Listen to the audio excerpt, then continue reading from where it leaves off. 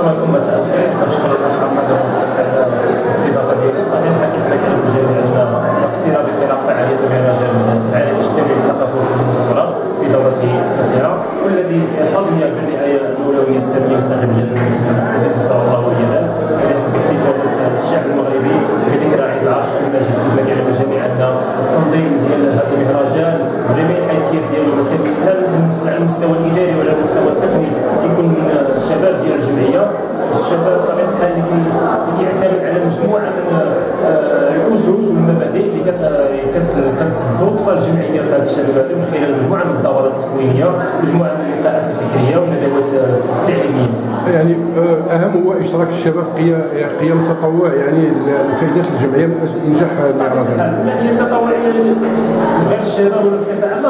يجب على كل مواطن خصوص الشباب أنهم يعتمدوا على التطوع لأن الهدف ديال التنمية ديال المدينة هو من خلال التطوع ما بقاوش نتكلموا على أن المسؤولين خصهم يبقاو يديروا العمل ديالهم نتكلموا مثلا على مستوى النظافة. نقولوا المسؤولين هما اللي مكلفين بالنظافة. هذا فرض على كل مواطن أنه يتطوع ويساهم في تنمية المدينة ديالو سواء على المستوى الثقافي أو البيئي أو الفني.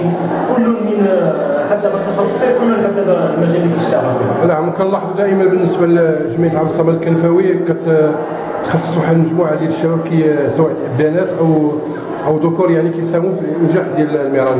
كيفاش أنتم في الجمعية عملتوا على تنميه القيم التطوع داخل الجمعية؟ نعم كيف ما كان الجمعية على مدار السنة.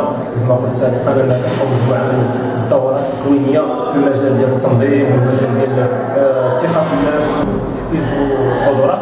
آه، الشباب ديال الجمعية آه، بطبيعة الحال يساهم ب 100% في التنظيم ديال هذه التظاهره كنرسخوا نحاولوا ان نرسخوا للشباب اللي كيجيو يتفرجوا في هذه الأنشطة هذه أنهم يجيو ينخرطوا في الجمعية.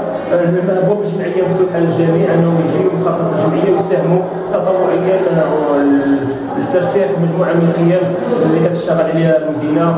الحفاظ على المآثر التاريخية ديال المدينة الحفاظ على البيئة تكون بيئة سليمة مدينة العرائش